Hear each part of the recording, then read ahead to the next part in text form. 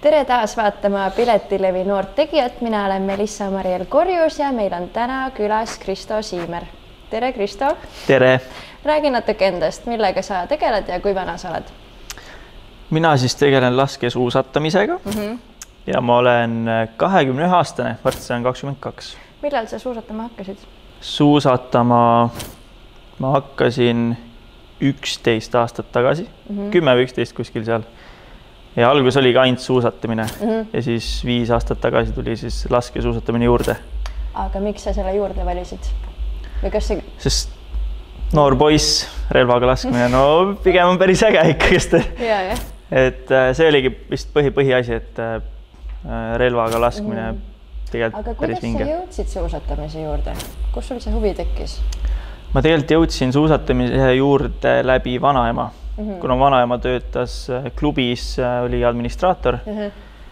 ja Nõmme suusaklubis ja. ja siis äh, oli talvevaheaeg, siis mu vanemad mõtlesid, et võiks lapsed kuskile kodust minema ajada, et, et äh, oleks nii-öelda rahulikum mm. -hmm. Ja siis meid viidigi kohe suusalaagrisse talvevaheajal. oskasid ja... suusatada ka siis või see oli absoluutselt mitte.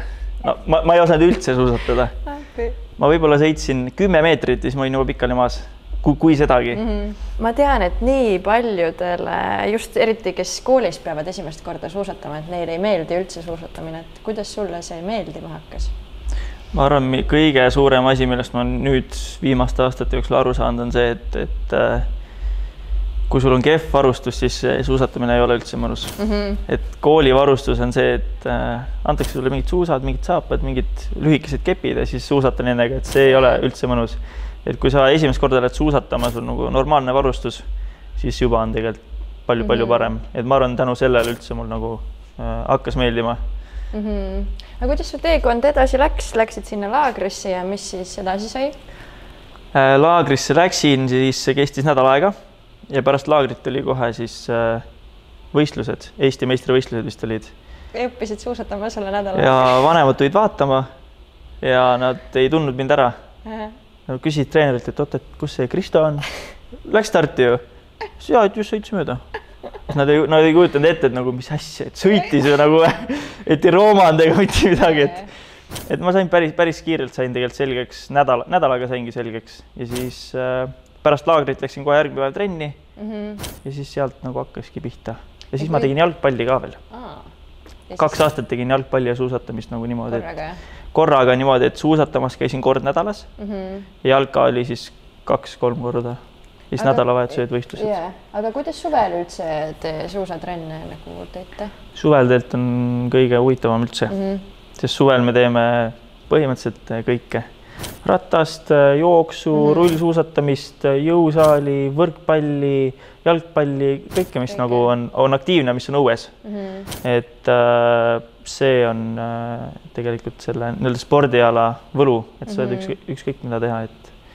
miks sa jalgpalli siis ära lõpetasid, kas see suusatamine siis tundus ühel hetkel palju äh, parem ja tundsid ennast seal paremini või, või koormus läks seal nii suureks või miks sa? see oli tegelikult tegelikult tuli suht sujuvalt see mm -hmm. otsus, et äh, mul hakkas suusatamises hakkas paremini minema. ma olin seal viisteist ja üheksa ja siis oli viies koht ja niimoodi hakkas järjest paremaks minema. siis mõtlesin, et, et see jalgpall nagu, ma võin nagu hea jalgpallur olla mm, -hmm. aga kui tiim on nagu, ei ole näiteks yeah. nii hea, siis nagu ma ei, ma ei jõua sellega kuhugi, et individuaalspordiala on nagu mulle meeldib rohkem, et sa mm -hmm. nagu seisad enda eest ja kõik otsused sa teed nagu iseendale, mitte kellelegi teistele. kus tiimis sa jalgpalli mängisid?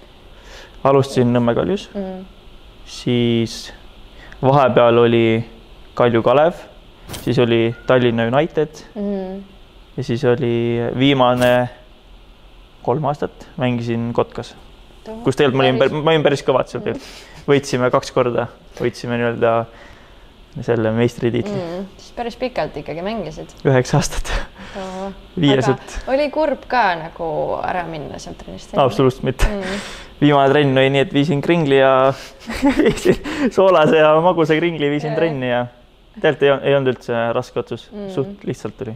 pluss, et sa saad suvel ikkagi jalgpalli ka mängida vahepeal. ja ma mängin küll, aga viimane kord, kui ma mängisin, ma nii-öelda rebesin jala ära, nii et äh, ma ei ole väga, ma ei ole ammu mänginud mm., aga ikka palliga nii-öelda kõksin ja teen nagu ägedaid asju, et okay, et jalgpall aga... tahaplaanil ei ole jäänud yeah aga räägi natuke nüüd enda saavutustest ka, et millised on su äh, viimase aja kõige suuremad saavutused, kuhu sa oled suusatamisega mis see viimane, mis see viimane no, üleüldse, millised on kõige nagu suuremad saavutused? Äh, ma arvan, et tegelikult kõige, ma ei tunne, et see oleks suur saavutus ise nagu mm, -hmm. aga võib-olla olümpiafestivali teine koht mm. -hmm.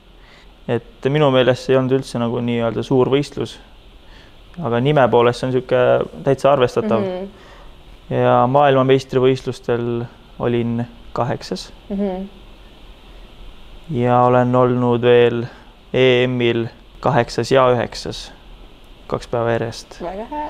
et top, top kümneid olen sõitnud, see talv ei ole, ei läinud nii hästi mm, -hmm. sest äh, meil jäi nii-öelda selle koroona tõttu jäid mingid võistlused ära, mis olid mm nii-öelda minu, minu vanustele ja siis ma ei saanud nagu enda vanustega mõõtu võtta siis yeah. ma pidin nii-öelda meestega pidin võistlema, ehk siis seal nagu nii häid võistlusi yeah. ei tulnud kui nooremad. kui palju sa treenid välismaal, kas on ette tulnud mingid välismaa treeningud ka? päris palju ikka, et äh, ma arvan, et aastas ma kuskil pool aega olen välismaal mm., siis kaks kolmandikku on Eestis ja mm -hmm aga Eestis siis oleneb sellest ka, et kui palju äh, lund on või, või pigem sul on juba varem need graafikud niikuinii paika pandud, et millal sa välismaal? tegelikult äh, graafikud on tegelikult varem valmis mm. juba, aga kui Eestis lund ei ole, siis tegelikult peab ümber, ümber tegema küll yeah. nagu päris äh, talve keskel just peab nagu ümber tegema, et mm. äh, talvel tahad suusatada Eestis, et kui ei saa, siis peab kuskile mujale minema, et yeah kust tuleb see raha, et välismaal äh, treenimas käia, kas sul on mingid sponsorid? mul on taskud tühjad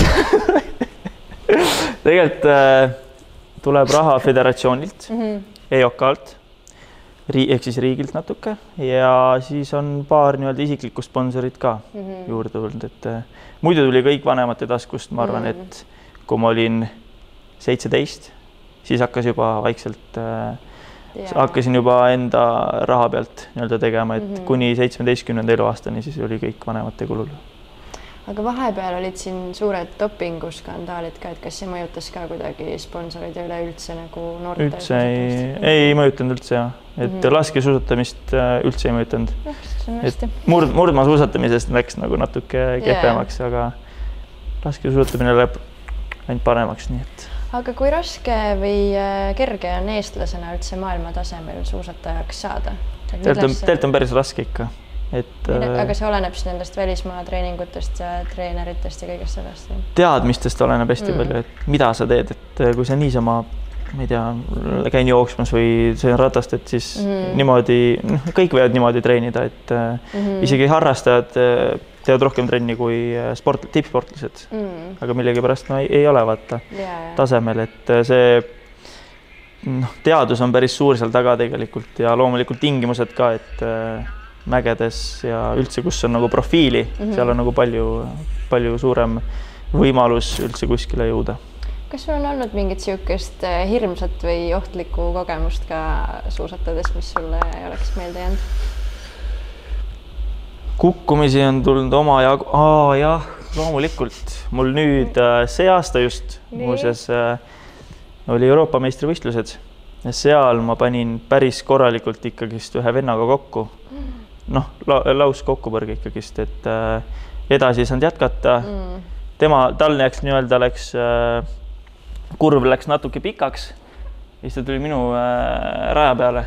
Ja siis panime niimoodi otsapidi kokku, et kraavi täiega, et see läks päris, äh, tegelikult päris äh, valus. aga on sul ja... varem juhtunud midagi sarnast mm? -mm. Mm. see oli, see, see oli ka selles suhtes oli, absoluutselt mitte, et see, see teine tüüp vist, tema jäi veel sinna, talle kutsuti nagu mm. kiirabi järgi, et ma pidin raja ääres kõndisin. aga sul ei, ei tulnud mingit vigastust? mul olid vigastused küll pärast, aga üpris ruttu sain nagu, sinikaid ei olnud, aga alaselg oli rängalt valus ja ja mõned kohad veel, et ikka kolm päeva lonkasin mm. väga palju.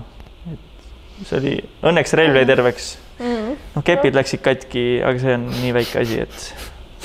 no väga huvitav kuulda, aga kus sa tahaksid ennast tulevikus näha või mis su äh, viie aasta plaan näiteks on?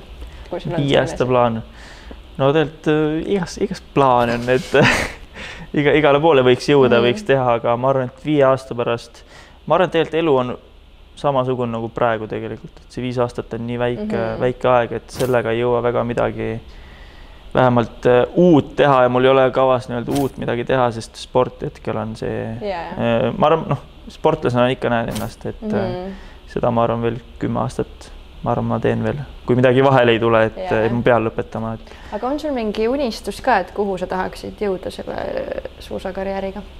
suusakarjääriga ma tahaks, ma tahaks lihtsalt ennast realiseerida, ma tahan teada, mis mu piirid on mm.. et kui ma nagu selle äh, saavutan, siis tegelikult äh, ideaalis võiks tulla ka hea, hea tulemus, et mis on nagu rahuldav mm. -hmm. ja kui ma nii-öelda enda piire ja potentsiaali ära ei kasuta, siis, siis ma lihtsalt tean, et see, minu nii-öelda see keha ei olnud selleks valmis mm.. kas sa oled kunagi mõelnud ka, et peaks pooleli jätma või on sul tekkinud niisugust hetke, et sa ei jaksa enam? Pigem ei ole, aga alati mingi pärast võistlust mõtled, et noh, korra, korraks käib nagu see mõte, et miks ma teen seda, et vahepeal, no ikka käib, aga see on ja, ja. pigem, pigem ei ole. aga kui palju sa oled pidanud kõrvale jääma sellistest noorte inimeste sotsiaalelust, et kas sa oled pidanud sellest eemal olema ja kas sa oled sellest puudust tundnud? puudust võib-olla nüüd viimase aasta jooksul olen puudust tundnud nojah, nüüd ja, niikuinii ei saa kallistada ja või noh, saab, aga nagu ja, ja, vaadatakse alt kulmu, et ja, ja. seda on nagu vähem, aga muidu eelnevalt pigem ei ole. et ma olen kuidagi suutnud ikkagist äh, Tallinnas olles olen suutnud nii-öelda mm -hmm. ennast hoida kursis äh, sõprade tegemistega, et äh, yeah. mitte ainult olla selles spordimaailmas. et pigem ei ole. aga kas sul on mingeid koolimõtteid ka minna kuskile? Ja teine küsimus, mis ma siia juurde kohe küsin, et kas suusatajana elab ilusti ära või äh, pead leidma endale ühel hetkel mingi töökoha ka kõrvale?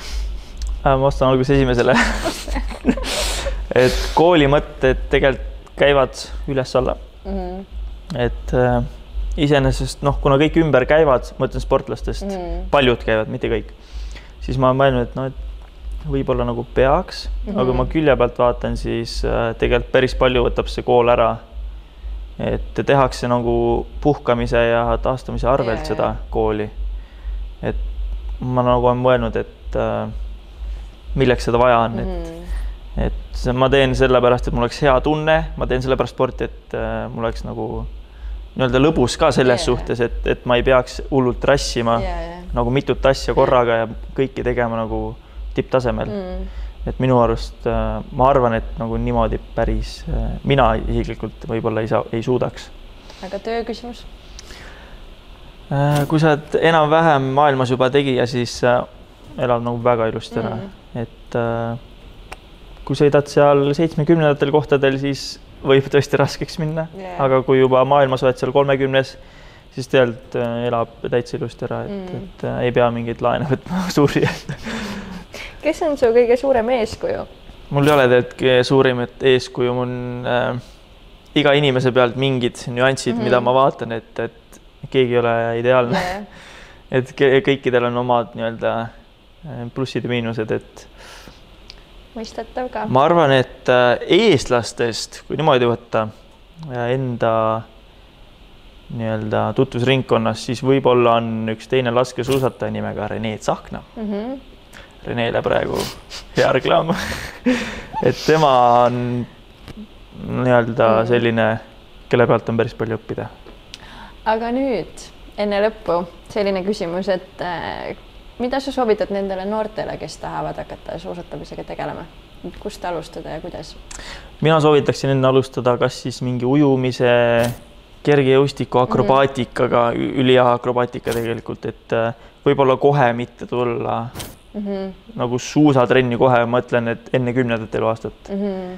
et enne teha siukseid äh, rohkem mängulisi ja siukseid, mis äh, arendavad keha siis nii-öelda teist, teistmoodi, et painduvus ja kõik see süvalihased tugevaks, et ma arvan, et akrobaatika oleks kõige parem ma ise, ise mõtlen nagu, et ja kergejõustik seal on, kuna seal on nii palju erinevaid alasid, siis mm -hmm. see, ma arvan, et oleks lastele päris vinge ja siis liikuda sujuvalt laskesuusatamise peale, et. väga hea soovitus, aga nüüd lõpus siis need kolm legendaarset kiiret küsimust, millele vasta hästi kiiresti. ja siit nad nüüd tulevad. milline on sinu lemmik tantsuliigutus? puusanõks väga hea. mis on kõige hiljutisem asi, mida sa tegid esimest korda elus? pa-pa-pa-pa-pa, ma käisin äh, täna esimest korda elus relvaga Hawaii Ekspressis poes sees. mis asja, miks? ära küsi, see ei olnud küsimus okei okay,, väga põnev. ja viimane kolmas küsimus. Äh, skaalast ühe kuni kümneni, kui pöörane sa oled? piisavalt. aga siinkohal me lõpetame. aitäh sulle, Kristo, et sa leidsid aega, et tulla.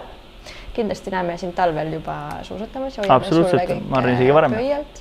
Ja meie teiega kohtume juba järgmisel kolmapäeval, kui teie ees on uus Noortegija